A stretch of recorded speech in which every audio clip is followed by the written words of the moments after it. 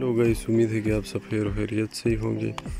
तो गाइस आज हम बात करेंगे कि हम अपना आईमो को ऑफलाइन कैसे दिखाएँगे, यानी कोई भी आपको देख सकेगा ऑफलाइन तो जो ग्रीन आइकॉन है, उसको ऑपरेट कैसे करेंगे? तो उसके लिए आपको सबसे पहले जो है प्रोफ़ाइल आइकॉन के ऊपर क्लिक कर देना है प्रोफ़ाइल पिक्चर के ऊपर। जैसे कि आप इसके ऊपर क्लिक करेंगे, उसके बाद आप फिर सेटिंग में सेटिंग्स के ऊपर क्लिक करेंगे।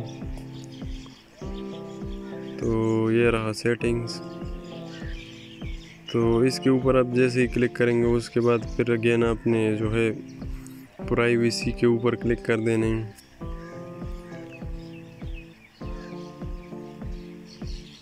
तो प्राइवेसी के ऊपर क्लिक करने के बाद जो है आपके पास आता है, नीचे आप थोड़ा स्क्रॉल करेंगे, उसके बाद आपके पास आता है